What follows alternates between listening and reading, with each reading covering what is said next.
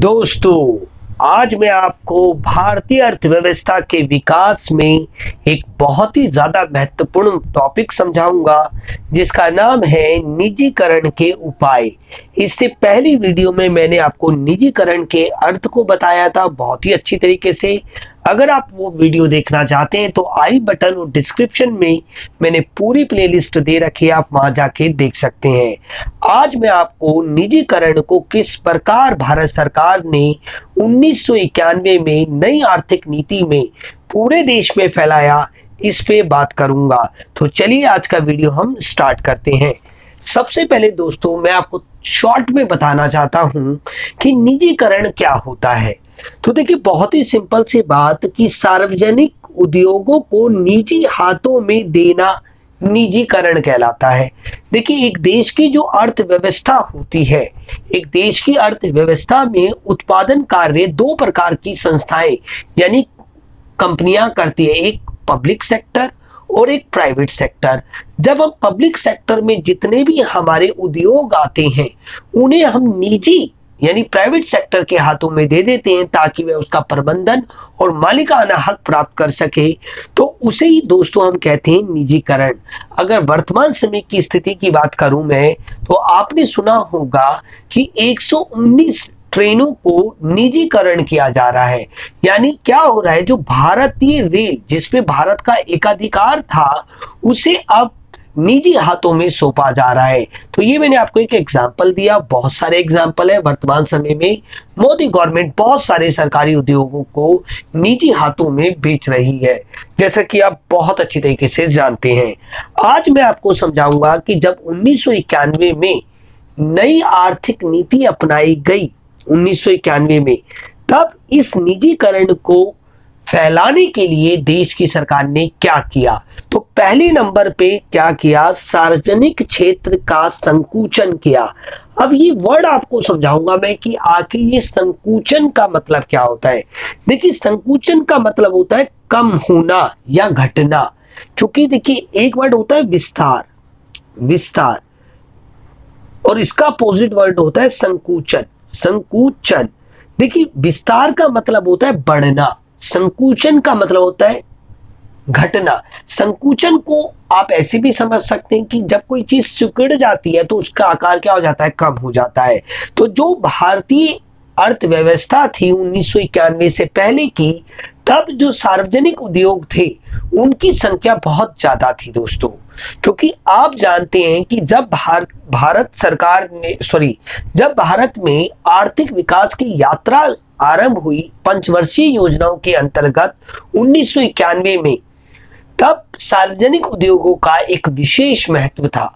यानी उस समय जो आर्थिक विकास करना था, उसका पूरा दारमोदार किस पर था? सार्वजनिक क्षेत्र के उद्योगों पर था, जिसकी वजह से उनकी संख्या लगातार बढ़ रही थी। लगातार बढ़ने से दोस्तों, भ्रष्टाचार, चोरी, लीकेज, बहुत सारी जो समस्या आने के वजह से बहुत सारे सार्वजनिक उद्योग 1990 तक आते आते बहुत ज़्यादा घाटे में चलने लगे, जिसकी वजह से भारत सरकार को उन्हें प्राइवेट हाटों में क्या करना का करना पड़ा, बेचना पड़ा। तो सबसे पहला उपाय भारत सरकार ने ये किया कि जो 1990 तक जितने भी सार्वजनिक उद्योग थे, उनकी संख्या को कम कर दिया। यानी उस, जो पहले पूरे देश की अर्थव्यवस्था में छाए हुए थे, कौन? सार्वजनिक उद्योग, उन्हें कम कर दिया। यानी उनकी संख्या को घटा दिया। उसे ही कहते हैं हम सार्वजनिक क्षेत्रों का संकोचन। मैं उम्मीद करता हूँ आपको ये चीज़ क्लियर हो गई होगी। दूसरी बात करते हैं कि सार्वजनिक क्षेत्र के उद्योगों को या उद्गमों में सरकार का विनिवेश अब देखिए, इसमें भी दो वर्ड है। एक होता है निवेश और एक होता है हमारा विनिवेश। वर्सेस मतलब है विनिवेश। अब देखिए, निवेश और विनिवेश का मतलब क्या होता है? निवेश को समझते हैं पहले। जब एक देश की सरकार अपने देश की अर्थव्यवस्था में कोई भी सार्वजनिक क्षेत्र का उद्गम लगाती है, यानी उद्योग लगाती है, उसे हम कहते हैं निवेश, जिससे देश की अर्थव्यवस्था में लोगों के लिए रोज़गार पैदा हो, देश की राष्ट्रीय आय हो। और एक और बहुत बड़ा उद्देश्य होता है दोस्तों, जो निजी कंपनियाँ मोटा लाभ कमा रही होती है, फ़ायदा लाभ कमा रही होती है, उनके साथ प्रतियोगिता करके समाज को उचित दर पर वस्तुओं तथा सेवाओं को प्रबंध करा सके। ये सार्वजनिक उद्योगों को लगाने का उद्देश्य मैंने आपको बताया। और मैंने आपको बताया निवेश क्या है? जब भी देश की सरकार अपनी आय में से पैसा खर्च करके सार्वजनिक उद्योगों को लगाती है, उसे हम निवेश कह सकते हैं। इसके ठीक उल्टा विनिवेश डी इज़ इन्वेस्टमेंट ये इन्वेस्टमेंट है, ये डी इन्वेस्टमेंट है। विनिवेश अभी आप अगर आप वर्तमान समय की बात करें तो बी विनिवेश पर ही फोकस है मोदी गवर्नमेंट का। मोदी गवर्नमेंट क्या कर रही है? एल बेच दी आपने, देखा है? एलआईसी का भी निवेश कर दिया है बेच दी है। Indian Indian airline Indian airline airline बेच दी, ठीक है? रेलवे 119 रेल रेलवेज की प्राइवेटाइजेशन करती जा रही है। और बहुत सारे एयरपोर्ट हो गए, हमारे प्लेटफॉर्म हो गए, बहुत सारे आपने देखा होगा डी इन्वेस्टमेंट करती जा रही है। यानी सार्वजनिक क्षेत्र के उद्योगों को सरकार का विनिवेश करना, यानी क्या कर रही है, सरकार उन्हें ठेके पे देते जा रही है बड़े बड़े निजी उद्योगपतियों को। जिससे दोस्तों, अगर आप देखें, विनिवेश बहुत ही बुरी चीज़ है अगर वर्तमान स्थिति में देखा जाए। बट उस समय, उन्नीस की टाइम पीरियड की अगर मैं बात करूँ, उस समय ये करना ज़रूरी था क्योंकि बहुत सारे ऐसे उद्योग थे जो लगातार घाटे में चल रहे थे। वो भारत सरकार के लिए फ़ायदे के लिए नहीं थे, वो आर्थिक लाभ नहीं दे रहे थे भारत सरकार को, जबकि वो आर्थिक बोझ बनते जा रहे थे। ठीक है? बट अभी की बात करें तो मोदी गवर्नमेंट ने ऐसी कंपनीज़ भी बेच दी है, ऐसे उद्योगों को भी बेच दिया है, जो फ़ायदे में चल रहे थे।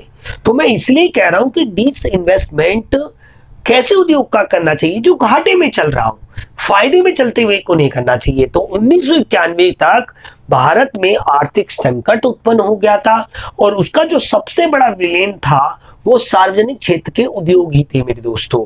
और सार्वजनिक उद्योग के जो क्षेत्र थे, उनको कर दिया गया था। पर एक बात मैं आपको बताऊँ तो ये हमारे वो उद्योग थे जिन्हें भारत सरकार ने कभी भी नहीं बेचा।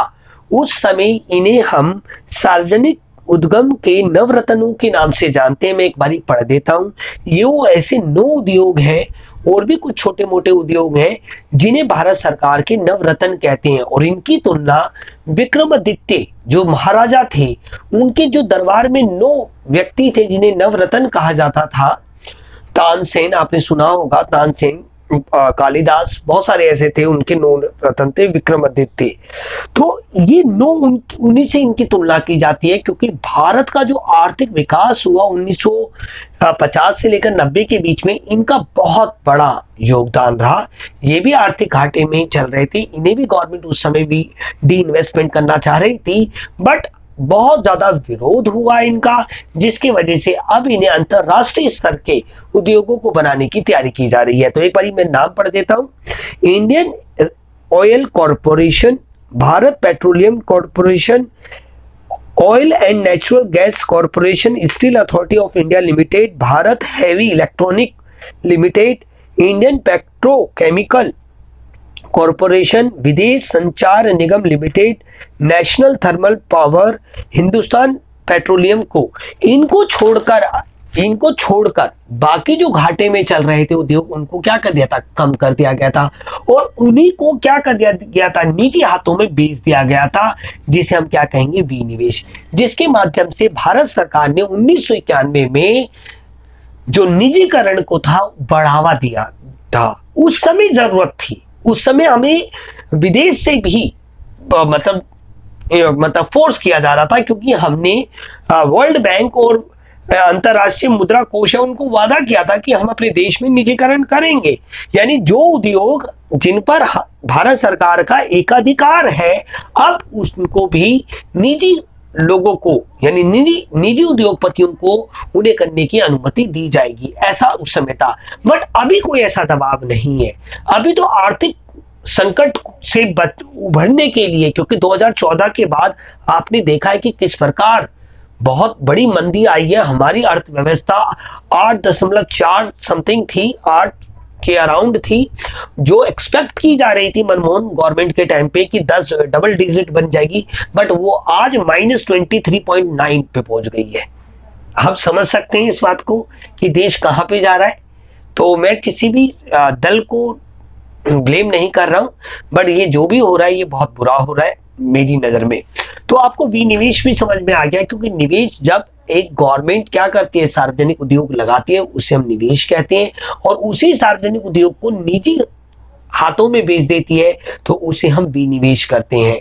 तो विनिवेश के माध्यम से भी भारत सरकार के द्वारा उन्नीस सौ इक्यानवे में निजीकरण को बढ़ावा दिया गया। अब बात करते हैं सार्वजनिक उद्गमों के शेयरों की बिक्री, ये तीसरा टूल था। आप जानते हैं बहुत अच्छी तरीके से कि भारत में शेयर मार्केट है, आप जानते हैं शेयर मार्केट। शेयर बाज़ार जिसे आप कहते हैं जिसमें हमारे दो आ जाते हैं। एक एक आती है हमारी एनएससी यानी नेशनल स्टॉक एक्सचेंज और एक आती है बीएसई जिसे हम बॉम्बे स्टॉक एक्सचेंज कहते हैं। यहाँ पे भारत सरकार ने क्या किया जो गवर्नमेंट कंपनीज़ थी जो गवर्नमेंट कहते हैं उद्योग थे उनके शेयरों की क्या की, की गई? आम जनता को बिक्री की गई। जिससे क्या हुआ, निजीकरण को एक तरीके से क्या मिला? बढ़ावा, क्योंकि आप जानते हैं कि अगर मेरे पास रिलायंस कंपनी का अगर एक शेयर है तो मैं उस कंपनी का रियल में क्या हूँ? मालिक हूँ। मेरे पास मालिकाना हक है। भले मैनेजमेंट मैं नहीं संभाल रहा हूँ, वो जो बोर्ड है उस कंपनी का वो संभाल रहा है। बट मालिकाना हक मेरा है, क्योंकि मैं उस कंपनी का ओनर हूँ, क्योंकि मेरे पास शेयर्स है। तो ऐसे भी हमने निजीकरण को बढ़ाया दोस्तों। तो ये था दोस्तों, आज का वीडियो। आपको कैसा लगा, मुझे कमेंट में ज़रूर बताएँ। छोटा सा टॉपिक था, आपको अभी भी समझ में नहीं आई हो कोई चीज़ तो मुझे आप कमेंट में ज़रूर लिखें, मैं आपका आंसर ज़रूर दूँगा। मिलते हैं दोस्तों अगले वीडियो में। जय हिंद, जय भारत।